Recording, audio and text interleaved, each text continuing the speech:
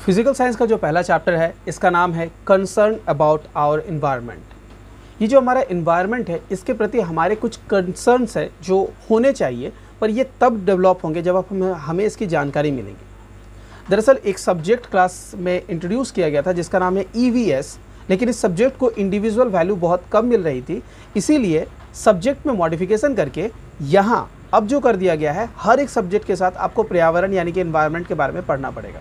Physical science में इसे first chapter में ही ऐड कर दिया गया है, जबकि लाइफ साइंस में इसे फिफ्थ चैप्टर में ऐड किया गया इस तरह से अलग अलग जगहों पर अलग अलग तरीके से है। फ़िलहाल हम लोग इसे समझने की कोशिश करते हैं। तो फ़िज़िकल साइंस में ये फ़र्स्ट चैप्टर में दिया गया है इन्वायरमेंटल स्टडीज़ के बारे में, जहाँ पर हम लोग अपने इन्वायरमेंट के बारे में फ़िज़िकल साइंस के वे से अप्रोच करेंगे। क्या है इस चैप्टर में? चलिए पढ़ते हैं। जैसा कि आप नोट स्टार्ट करेंगे तो सबसे पहले आपको दिखेगा स्ट्रक्चर ऑफ़ द एटमोसफियर यानी हमारा जो ये एटमोसफियर है, जो हमारे सराउंडिंग है, इसके जो स्ट्रक्चर है, उसको हम सबसे पहले समझेंगे। आज के क्लास में इस स्ट्रक्चर से जुड़ी हुई चीज़ें मैं आपको पढ़ाऊँगा। ये जो हमारा स्ट्रक्चर है, ये कैसा है एक्चुअली इसमें डिफरेंट लेयर्स है। उन लेयर्स के बारे में मैं आपको बताऊँगा। लेयर्स को समझने के बाद उसमें एक बहुत इंपॉर्टेंट लेयर है, जिसका नाम है ओजोन लेयर वो भी आज आपको क्लियर करवाऊँगा तो चलिए स्टार्ट करते हैं डिस्कशन एक एक करके समझते हैं। ये जो फिगर आपके सामने दिख रही है, मैंने ये फिगर एक वेबसाइट से डाउनलोड की है।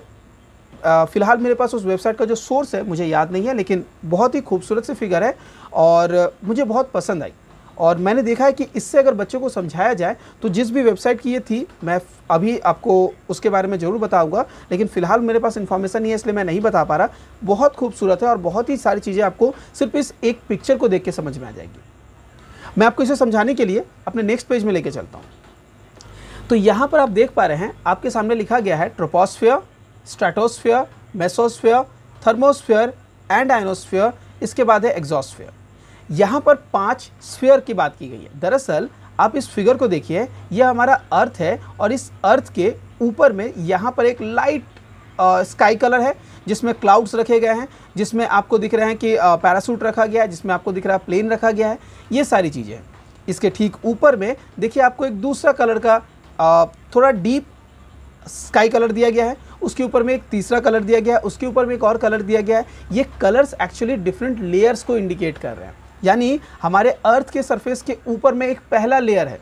उसके ऊपर में दूसरा एक लेयर है, उसके ऊपर में तीसरा एक लेयर है, फिर एक और लेयर है, इस तरह से डिफरेंट डिफरेंट लेयर्स है। अब आप एक बात यहाँ समझ सकते हैं, अगर अर्थ के सरफेस के ऊपर में पहला लेयर जो है, उस लेयर का कोई नाम रखना चाहिए, वैसे ही दूसरे लेयर का कोई नाम रखना चाहिए और ऐसे ही करके अलग अलग लेयर्स का नाम रखना चाहिए।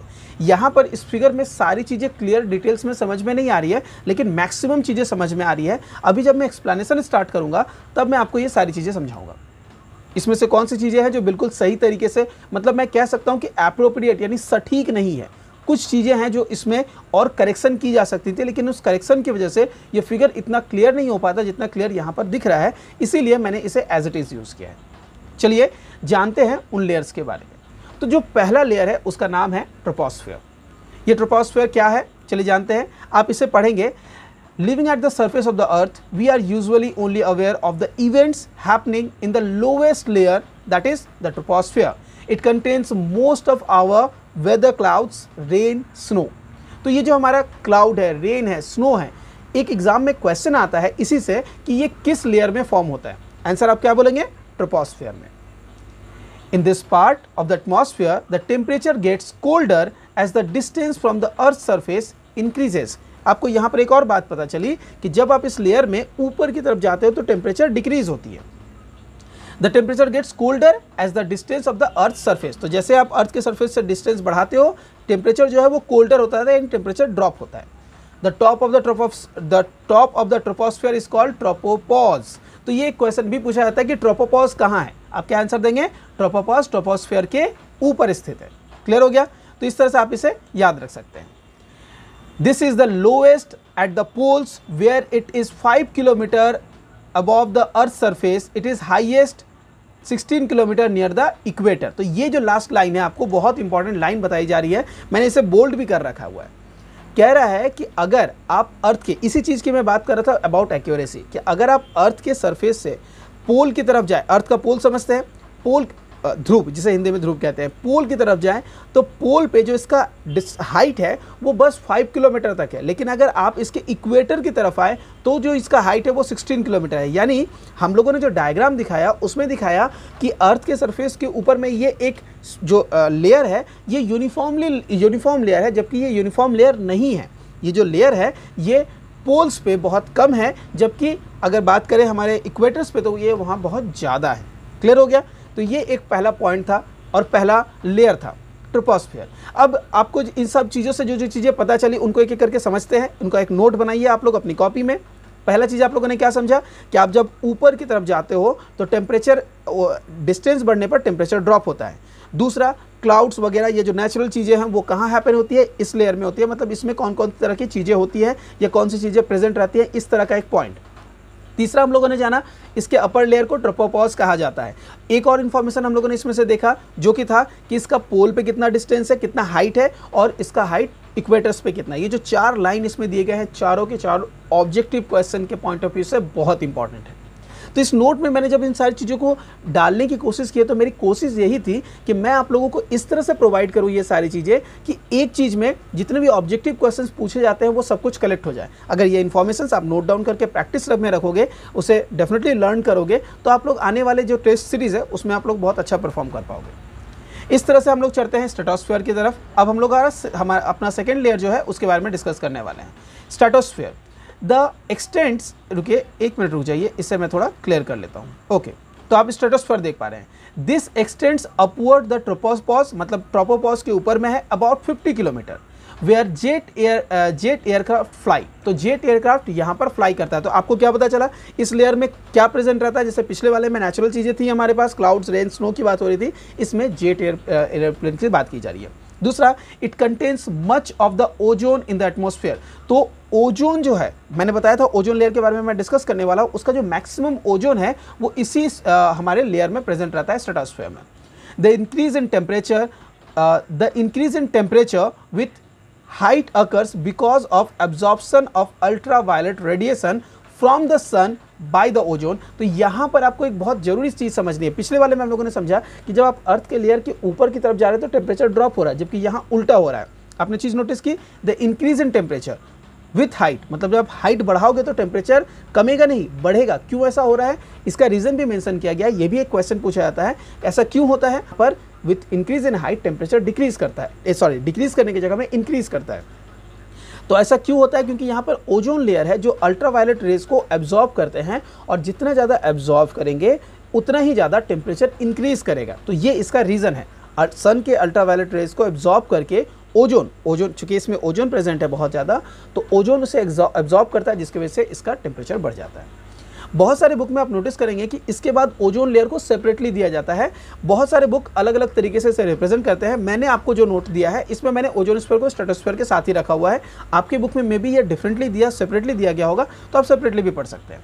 चलिए हम लोग जानते हैं नेक्स्ट लेयर के बारे में, जिसका नाम है mesosphere the region above the temperature stratospheres अब इसके ऊपर में स्टेटोस्फेयर के ऊपर में कॉल दिया जा रहा है, उसे, उसका नाम है mesosphere here the temperature again decreases with height तो जैसा हो गया नॉर्मल हमारे जैसे स्टेटोस्फेयर में था ट्रोपोस्फेयर में था, वैसे ही अब मेसोस्फेयर में हो गया जैसे आप हाइट बढ़ाओगे टेम्परेचर कमेगा. कह रहे हैं reaching a minimum of about minus ninety degree centigrade तो इस स्फेयर में जाकर, यहाँ पर जब आप रहते हो, जिसमें आप हाइट बढ़ाने पर टेम्परेचर कमता है even minus ninety degree centigrade तक आप इस इस एटमोसफेयर पे चले जाएँगे। तो मान लीजिए कि मैं सुपरमैन की बात करता हूँ। सुपरमैन उड़ रहा है। सुपरमैन उड़ते उड़ते अगर मेसोस्फेयर में चला जाता है तो वहाँ उसका टेम्परेचर डिक्रीज करके माइनस नाइन्टी डिग्री सेंटीग्रेड तक आ जाएगा। अब माइनस नाइन्टी डिग्री सेंटीग्रेड पर वो सर्वाइव कर पाएगा, नहीं कर पाएगा, ये तो सुपरमैन को पता होगा। और आपको पता है, ये सब सिर्फ़ साइंस फिक्सन है तो इसका रियल वर्ल्ड से कोई लेना देना नहीं है। और हम पढ़ रहे हैं फिजिक्स जो रियल है। तो साइंस फिक्सन के साथ बस एग्ज़ाम्पल मैंने कनेक्ट करने की कोशिश की। आगे बढ़ते हैं। इसके बाद का जो लेयर है, उसका नाम है थर्मोस्फियर एंड आइनोस्फियर उसके बारे में जानते हैं। The thermosphere lies above the mesopause अब मेसोपॉज इसके ठीक अपर लेयर को कहा जाता है, जहाँ पर टेम्परेचर ये माइनस नाइन्टी डिग्री सेंटीग्रेड है। Thermosphere lies above the mesopause and a region in which temperature again increases with height exception फिर हमें मिला। The temperature increases is caused by absorption of energetic ultraviolet and x-ray radiation from sun. तो इस layer में भी without x ray sorry without ozone gas यहाँ पर हम लोग देख रहे हैं अल्ट्रावायलेट रे का एब्जॉर्प्शन हो रहा है यूवी रेस का और एक्सरे का एब्जॉर्प्शन हो रहा है जो सन से आ रही है। इस वजह से यहाँ पर हाइट बढ़ने पर टेम्परेचर बढ़ती है। Thermosphere also includes the region called ionosphere इसी के अंदर में आयनोस्फेयर की भी बात की गई है। It is the region of the atmosphere that is filled with charge particles the high temperature is in the thermosphere can cause molecules to ionize तो यहाँ पर आयनाइज कर सकते हैं। अब आयनाइज क्या होता है? फिजिक्स के आने वाले चैप्टर्स में हम लोग इसे और डिटेल्स में पढ़ेंगे। अभी फ़िलहाल बताते हैं जब कोई भी एक एलिमेंट uh, के ऊपर में चार्ज आ जाता है यानी प्लस या माइनस तो हम उसे आयनाइज कहते हैं। हम लोग जब इसके केमिस्ट्री वाले सेक्शन में जाएँगे तो हम लोग इसे डिटेल्स में पढ़ेंगे।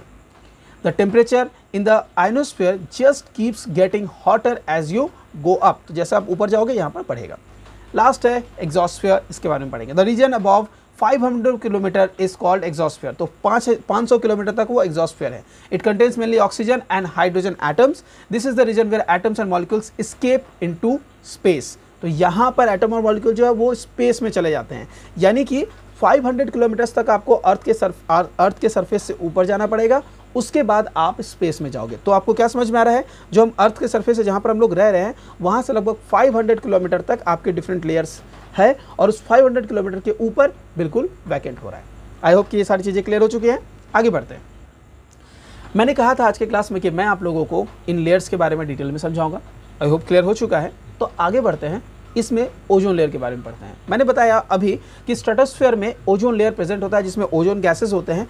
ये बहुत इंपॉर्टेंट लेयर है हमारे लिए। क्यों ये इंपॉर्टेंट है?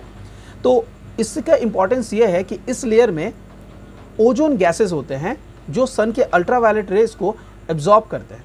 आपके मन में आ सकता है कि सर ये थर्मोस्फेयर में भी होता है। थर्मोस्फेयर में इसका जो अमाउंट है, वो इसके कंपैरिजन में बहुत कम होता है। और ओजोन लेयर में ये इतनी ज़्यादा क्वांटिटी एब्जॉर्ब करते हैं कि अगर उसका एक छेद, यानी आपको शायद ये बात पता है कि ओजोन लेयर में अभी होल्स बनने लगे हैं और वो होल इतना हार्मफुल है कि थर्मोस्फेयर के जो जितने अमाउंट में इन रेडिएशंस को एब्जॉर्ब करता है, उससे कोई फ़र्क नहीं पड़ेगा। बल्कि ओजोन लेयर में एक hole huge amount of ultraviolet rays को पास करने देगा। तो ये बहुत ज़्यादा हार्मफुल है हमारे लिए। चलिए इस बारे में डिस्कस करते हैं। आप देख सकते हैं अर्थ के सरफेस के ऊपर में मैंने यहाँ पर ओजोन लेयर दिखाया है। सटरस्टॉक्स डॉट कॉम वहाँ से ये इमेज लिया गया है। I am really thankful to them कि उन्होंने इतना beautiful image free of cost provide किया है। आप लोग बिल्कुल इन वेबसाइट्स को विज़िट करें जहाँ से आप लोगों को इस तरह की चीज़ें मिलेंगी। फ़िलहाल आगे बढ़ते हैं। हम लोग जानेंगे इस ओजोन लेयर के बारे में। तो मैंने बताया कि ओजोन लेयर में डिप्लेशन आ रहे हैं, उसमें होल्स बन रहे हैं, यानी कि वो जो लेयर है, वो प्रॉपर अपनी जगह पर जिस तरह से उसको फ़ंक्शन करना चाहिए, वो नहीं कर पा रहा है। तो आखिर ऐसा क्यों हो रहा है? इसके डिस्ट्रक्शन के पीछे क्या रीज़न है? हम लोग इसे जानेंगे। यहाँ डिस्ट्रक्शन नहीं डिप्लेशन वर्ड यूज़ होगा। इसके पीछे मेन रिस्पॉन्सिबल है सी एफ़ सी जिसे, जिसका फुल फॉर्म है क्लोरोफ्लोरोकार्बन ये क्लोरोफ्लोरोकार्बन क्या है? ये एक ऐसा कूलेंट है जिसमें हम लोग रेफ्रिजरेटर और एयर कंडीशंस में यूज़ करते हैं। आज के वक्त में हम सब लोगों के घर में फ्रिज तो प्रेजेंट है रेफ्रिजरेटर्स और जब हम उसे खोलते हैं, उसके अंदर से धुआँ निकलता है। क्या आपको पता है? वो धुआँ कंटेन करता है सी एफ़ सी क्लोरोफ्लोरोकार्बन जो एक कूलेंट है, जो ठंडा करने का काम करता है। ये कूलेंट जैसे ही आप फ्रिज खोलते हैं, वो एटमोसफेयर में जाता है और धीरे धीरे लेयर लेयर लेयर होकर ओजोन लेयर तक पहुँचता है। जहाँ पर इसके क्लोरोफ्लोरोकार्बन के क्लोरीन मॉलिक्यूल्स रिएक्ट कर जाते हैं ओजोन के साथ और ओजोन का जो क्वांटिटी है, वो धीरे धीरे डिक्रीज करते हैं। हार्म पहुंचाते हैं ओजोन लेयर को। तो बहुत ज़्यादा इंपॉर्टेंट हो जाता है हमें यह समझना कि हम किस तरह से इस चीज़ को रोक सकते हैं। अगर ओजोन लेयर का डिस्ट्रक्शन हो गया तो ओजोन लेयर की वजह से यूवी रेज डायरेक्टली हमारे ऊपर पड़ेंगे। और यूवी रेज अगर डायरेक्टली हमारे ऊपर पड़ते हैं तो हमारे स्किन कैंसर, स्किन के अलग डिजीजेस, बहुत तरह के डिजीजेस हमें होने लगेंगे। इसलिए यूवी रेज से बचना बहुत ज़रूरी है। आप लोगों ने बहुत सारे क्रीम देखे होंगे कि यू, ये यूवी रेज से बचाता है, बट वो क्रीम किसी काम के नहीं होंगे अगर ओजोन लेयर में डिप्रेशन हो गया। तो बात समझने की कोशिश कीजिए, कोई क्रीम काम में नहीं आएगा अगर ओजोन लेयर में डिप्रेशन हुआ, बल्कि हमें खुद इसे समझना पड़ेगा। अब कैसे हम समझें? कैसे हम इसे ठीक करें? तो फ्रिज का इस्तेमाल बंद कर सकते हैं? बिल्कुल नहीं। ऑल्टरनेटिव का इस्तेमाल कर सकते हैं और किसी ऑल्टरनेटिव की तरफ़ हमें बढ़ना पड़ेगा। इस तरह की चीज़ें हम लोग अपने ए यानी एयर कंडीशनर्स में भी इस्तेमाल करते हैं कूलेंट के फॉर्म में। तो हम लोगों को इसे बंद करना पड़ेगा। लेकिन ऐसा नहीं है कि कूलेंट के फॉर्म में जिन चीज़ों का इस्तेमाल कर रहे हैं, बस वही रिस्पॉन्सिबल है हमारे ओजन डिप्लेशन में। बट ये मेजर रोल प्ले कर रहे हैं। इसके अलावा बहुत और भी चीज़ें हैं, जैसे कि कार्बन डाइऑक्साइड गैस ये भी ओजन लेयर के लिए डिप्रेशन में डिप्रेशन कर रहा है। आज तक हम लोगों ने बस यही जाना है कि पेड़ लगाने चाहिए, क्योंकि पेड़ और हमारा बहुत अच्छा कनेक्शन है, वरना पेड़ अगर नहीं रहेंगे तो हमें ऑक्सीजन नहीं मिलेगा। ऐसा नहीं है कि सिर्फ़ हमें ऑक्सीजन नहीं मिलेगा। ये टोटल बायोडाइवर्सिटी है। लाइफ साइंस के क्लासेस में हम लोगों ने फिफ्थ चैप्टर में इसे पढ़ना है कि जो पूरी बायोडाइवर्सिटी है, वो डिस्टर्ब हो जाएगी अगर किसी एक स्पीसीज को गायब कर दिया जाए। डिटेल में हम लोग उसे लाइफ साइंस में पढ़ेंगे। फ़िलहाल तो ये समझते हैं कि अगर अगर प्लांट्स नहीं रहें तो ह्यूमन ह्यूमंस को ऑक्सीजन नहीं मिलेगा, लेकिन उससे पहले प्लांट्स न रहे, अगर कार्बन डाइऑक्साइड का क्वांटिटी बढ़ने लगा एटमॉस्फेयर में तो ये कार्बन डाइऑक्साइड ओजोन लेयर को इस बुरी तरीके से डिप्लेट डिप्लेशन करेगी कि ओजोन लेयर्स अपना काम करना बंद कर देंगी, नहीं कर पाएँगे, उसके सारे गैसेस यानी ओजोन खत्म हो जाएँगे और फाइनली डायरेक्टली यूवी रेज हमारे ऊपर पड़ेंगे और हम डिफरेंट तरह की स्किन डिजीजेस की वजह से ऐसे हमारी डेथ हो जाएगी। समझ सकते हैं। इसलिए ओजोन लेयर काफ़ी रिस्पॉन्सिबल है इन सारी चीज़ों को बचाने के लिए। तो डिप्रेशन के बारे में सिंपल सा पॉइंट यह निकल के आया कि ओजोन लेयर डिप्रेशन के पीछे मेनली रिस्पॉन्सिबल होते हैं क्लोरोफ्लोरोकार्बन यानी सी और इसके अलावा और भी है। सीएफसी का फुल फॉर्म पूछा जाता है एग्जामिनेशन में। इसे और डिटेल में मैं डिस्कस नहीं करता हूँ। अब ये जान लेते हैं, जैसा कि क्वेश्चन एक पॉइंट दिया गया है harmful effect of ozone layer depression तो इसके क्या क्या इफ़ेक्ट पड़ेंगे? लगभग मैंने बहुत सारे पॉइंट्स आप लोगों को बता दिए हैं और आप लोगों को भी क्लियर हो गया होगा कि क्या क्या होंगे। तो मैंने बताया स्किन पे इसका कुछ प्रॉब्लम्स आएँगे, इसके कुछ प्रॉब्लम्स आइज़ पे भी आएँगे। You UV can cause damage in the lens of eye तो ह्यूमन आई का जो लेंस है, वही डैमेज हो जाएगा। अगर आपको पता है, अगर ह्यूमन ह्यूमन आई का लेंस ही डैमेज हो जाए तो वो देख ही नहीं पाएगा समझ सकते हैं क्या हालत होगी। ब्लाइंडनेस कैटरैक्ट बहुत तरह की प्रॉब्लम होगी। कैटरैक्ट जो बीमारी है, इसके बारे में भी हमें डिटेल्स में डिस्कस करना है। आई होप कि कैटरैक्ट के बारे में आपको पता है। आँख के ऊपर में जिसे हिंदी में मोतियाबिंद कहते हैं तो ये मोतियाबिंद की बीमारी हो जाती है, जिसमें लेंस के ऊपर में एक लेयर आ जाता है।